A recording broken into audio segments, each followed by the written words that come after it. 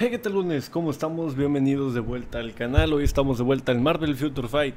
Y sí, como viste en el título, el día de hoy vamos a probar al personaje, a Yelena Belova, y el uniforme de Yelena Belova. Entonces, vamos a ver qué tal está este nuevo personaje completamente premium en Marvel Future Fight. Vamos a ver si vale la pena comprarla y reclutarla y subirla, o vale la pena dejarla en el selector y escoger a cualquier otro personaje. Así que sin ningún tipo de retraso más, vamos a comenzar con este video. Puedes dejar tu like para hacer este video 300 veces más épico. Drago. Ok, este video por mera ocasión, ¿qué vamos a hacer? Probar la fase 10 anotado en la lista. ¿Por qué? Porque es una review de tier 1 a tier 2. ¿Qué otra cosa va a pasar en este video? Vamos a repetir esta prueba tres veces, solamente por esta ocasión. ¿Por qué se preguntarán? Me dejaron el uniforme en normal para subirlo a mítico. Entonces quiero ver qué tanto es el cambio que tiene el uniforme de normal a mítico. Porque nunca lo he hecho. Entonces yo creo que nos puede servir a todos para ver el cambio. Sobre todo en el aumento de poder. Porque no cambia más allá de, más allá de eso. Entonces vamos a ver cuánto aumenta el poder de un uniforme normal a un uniforme mítico. Lo vamos a probar obviamente en el jefe mundial. En esta misión no vale la pena. Y es una fase 10 porque es un personaje eh, en tier 1 más que nada. Entonces, pues bueno, y Elena Belova. Un gran personaje.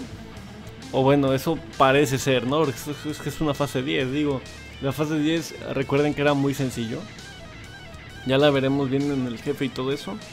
Y pues vamos a ver, o sea, mm, de, de, vista, de ojo del Dragonil se ve interesante. En donde más se veía o bien era con el uniforme, sobre todo la habilidad número 3 que te hacía invisible. Me comentaron que hubo un cambio en el uniforme, creo que era en la bonificación del uniforme de la beta al, al mundo real, por así decirlo. Entonces, creo que Creo que nerfearon la bonificación del uniforme. De todas maneras, voy a dejarles un screen en la pantalla del efecto del uniforme. Y pues estamos viendo que una fase 10 se le está pasando sin ningún tipo de problema. Y por cierto, no sé si ya le envío un saludo a Huesome Mr. Pool. Muchas gracias, carnal, por prestarnos tu cuenta para poder hacer la review. Y es que aparte nos dio todos los vales para poderla subir. Entonces, muchas gracias, bro. Espero que tu inversión sea bien, bien complacida, bien, bien válida, ¿no? Porque... Ay, yo tengo mis dudas, pero porque yo ya... Estoy viendo que los personajes gratis están alcanzando buen nivel a comparación de cómo era antes de un personaje de paga que sí se, se sentía poderoso a uno que era gratis, que siempre los dejaban bien chafitas, pues bueno, ya están empezando a dejar los personajes gratis un poco, un poco más útil. Y los personajes de paga les están bajando un poco de chetodillos. Pero bueno, en 2 minutos 19 se pasó la fase 10. Bien, puede ser por la equipación, puede ser por los cromos, puede ser por muchas cosas. Pero bueno, vamos a probarla con el uniforme en normal. Y luego la probamos, luego nos vamos a otra prueba. Y cuando la subamos a tier 2, la probamos con el uniforme normal y en el uniforme mítico. Regreso. Hizo dos minutos y algo. Nunca me acuerdo del tiempo. Es que, bueno, parecerá extraño, ¿no? Pero ustedes solamente ven un cortecito terminando y entrando. Y yo no, yo voy y a veces me voy y hago otras pendejadas y se me olvida el tiempo. Pero, vean, al menos en tema de daño estoy viendo que sí gana mucho. No sé si sea el tema de las habilidades, de que tienen mejor daño. No sé. Eh, o sea, por mejor daño me, me refiero a daño en área. O sea, que hacen más daño por más tiempo. Eh, no lo sé. O sea, al menos el uniforme sí estoy viendo que parece ser que sí la mejora bastante. Recuerden que está el uniforme normal y recuerden que también está en tier 1. Entonces... Ah, bueno, posiblemente lo que les dije hace ratito, antes de, de entrar a esta parte, es que en tier 2 la vamos a probar con el uniforme normal y el mítico. ¿Por qué? Por el tema de ahorro de tiempo, más que nada. Entonces, a ver, eh, poniendo así un poco de lo que recuerdo de la beta, es que con el uniforme tanto Yelena o Elena o no sé cómo se pronuncia, diga la pronunciación, y Red Guardian Con el uniforme ganaban aumento de daño por daño acumulado, creo. O aumento de daño por daño causado. Uno de esos dos es el efecto que gana. Y realmente se siente, vean, está avanzando mucho más rápido. O al menos eh, en los dos pisos anteriores avanzó más rápido. Ya lo veremos al finalizar con el tiempo. Porque bien, la habilidad número 3 queda completamente inútil porque no ataca. Pero las demás habilidades las dejan con iframe o siendo invisible. Entonces, posiblemente también queda un poco más desprotegida. Mm, ahí acaba de perder bastante tiempo, no sé, haciendo el bailecito. Yo que sé por qué se quedó parada. Pero pues, miren, vamos a saber exactamente el desempeño que tiene el personaje en el jefe mundial. De antes no puedo decírselos porque es bastante, ¿cómo decir? Bastante mm, tedioso, ¿no? Poderles decir que la misión es bueno cuando luego lo pruebas y dices, oye, pero ¿qué es esto? Recuerden que los tier 2 los pruebo en una fase 10, una fase 10 sin strikers ni potenciadores. Es una fase donde el personaje se exige. Se logró pasar el jefe al igual que sin uniforme, lo cual era de esperarse. no esperaba, no esperaba que no se lo fuera a pasar. Eh, 2 minutos 23, creo que hicieron exactamente el mismo tiempo. O un tiempo real, real, realmente muy parecido.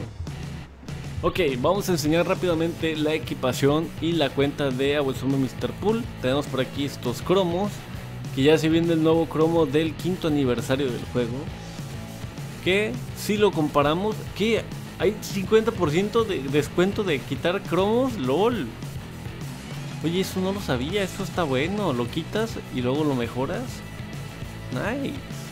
Y ya no te chingas la cuenta como yo. Perfecto. Tenemos por aquí 32 de recarga de habilidad, 30 de todos los ataques, 11 de físico y 31 de energía. Bastante buenos los ataques, sobre todo la energía.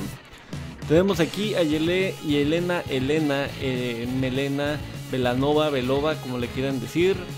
Puesto 4393. Como les he comentado en varias actualizaciones pasadas, ya nadie está subiendo, muy pocos están subiendo los personajes de paga, lo cual es bastante triste. Esto habla de que posiblemente sí ya no son tan necesarios, por así llamarlo, porque si se fijan, está en el top 4000 y tenemos creo que una o dos semanas de que salió la actualización. Tenemos 12.464 ataque físico, creo que ya lo dije, no sé por qué lo volví a repetir. Tenemos la velocidad y la recarga al máximo, es velocidad humano-mujer superhéroe con el uniforme, es agente, tiene ignorar esquiva y agilidad eh, equipada. Tenemos el equipo en 15, tenemos casi todas las habilidades en más 6, por algún motivo no habrá subido estas. No sé, tal vez no le parecieron útiles. Tenemos puesto tipo 0. Tenemos fuerza de Hulk cabreado, todos los hizo 6 estrellas en más 5. Tenemos un PC de destrucción, siempre la versión Mr. Pool poniendo CTPs, muchas gracias carnal. El uniforme está en normal como bien les comenté. Tenemos el efecto, se aplica a ti, ignorar esquiva y todo el daño se reduce. Creo que este de todo daño lo cambiaron, creo que era otra otra cosa y le pusieron esto. Pero de todas formas van a tener por aquí eh, la captura del, del, efecto pasado. Y sin uniforme, creo que se hacía, creo que era, creo que es villana, ¿no? Super villana y tiene exactamente las mismas estadísticas. Le bajó como mil o cien de ataque. Mil, mil de ataque casi. Por el uniforme. Entonces pues nada, Vamos a probar en el jefe mundial, yo creo que con el puro uniforme. Y luego, cuando lo subamos en tier 2, la probamos sin uniforme y con uniforme para que el video no quede muy extenso. Ok, vamos a comenzar con la fase 10 de medianoche próxima con Yelena Belova. Con uniforme normal, tier 1, equipo en 15. Vamos a ver qué tal está. Recuerdo que esta te daba full iframe. Eh, al parecer esta es la que te da el aumento de daño. Aunque no revisé si te daba aumento de daño por impacto o aumento de daño por acumular daño. Vaya la redundancia. Creo que es aumento del daño por el tema del de hacer más daño. Ahorita lo revisamos ya que la subamos a tier 2. me recuerdo de revisar eso. A ver, la ventaja de este personaje como bien se dan cuenta La habilidad número 4, digo, la habilidad número 3 es realmente bastante útil. Muy, muy pocas veces he visto esto, si no es que es la primera vez que hay una habilidad que te hace tener iframe en todas las habilidades. Eso está, lo dije en la beta, lo vuelvo a decir, está bastante creativo. Para hacer un tier 1, en un minuto le hicimos una barra de vida. Eso no todos los personajes lo hacen, la verdad, y menos con cromos que tienen full ataque de energía. Bueno, todos los ataques pueden funcionar, pero pues, tiene más ataque de energía que ataque físico, entonces esa es la ventaja, ¿no? O sea, el personaje, al menos con el uniforme, parece que hace muy buen daño. Voy a ver en cuánto tiempo logran matarme. Puedes tener una secuencia muy muy útil para ser intocable. Sobre todo la habilidad número la número 2 y la número 4 son las que yo recomendaría utilizar con la habilidad número 3 activa porque eres invisible. La número 1 tiene iframe y la número 5 también. Entonces, pues bueno. El personaje en sí, o sea, está haciendo un daño bastante interesante para hacer, como ya, vieron, la equipación está... O sea, es muy, muy básico. Ok, llegué a la vida 11. Pude haber durado un poquito más, puede ser. Si no me hubiera acercado tanto ahí. Pero el, desempeño con el personaje es... Me gusta, o sea, sí se siente algo útil. Ahora la pregunta del millón. Si la compras, ¿la vas a utilizar? esa, es, esa es otra, ¿no? Digo, de que parece ser que vale la pena, parece ser que vale la pena. Vamos a desarrollarla y vamos a subirla a tier 2. Así que muchas gracias nuevamente a Wasome Mr. Pool por prestarnos la cuenta y dejarnos utilizar tu mega vale. Así que bienvenida Yelena Belova al canal. Bienvenida con tu tier 2. Ganó casi 5000 de ataque físico, lo cual está bastante bien. Tenemos eliminación de objetivo. Aumento garantizado de esquiva y el daño de la habilidad aumenta y el adicional. La esquiva nos va a servir para poder, digamos, aguantar un poco los golpes porque tenemos una mayor probabilidad de que el golpe que nos peguen, golpe que podemos esquivar. Vaya, pues eso es técnicamente aumento de esquiva. Vamos a ver la contra de tiempo que hace de tier 2 a tier 1. Eh, había hecho como 2 minutos 30 segundos sin uniforme, así recordando vagamente. Y con el uniforme hizo 2 minutos 20 y algo. Vamos a ver sin uniforme cuánto tiempo hace. Es la misma fase 10. Igual, no sé, déjenme en los comentarios qué quieren. Si cuando lo hagamos en tier 1 lo probamos en la fase 10, en tier 2 la probamos en una fase 13 más o menos. Puede ser una fase interesante. La fase 15 no se la va a pasar.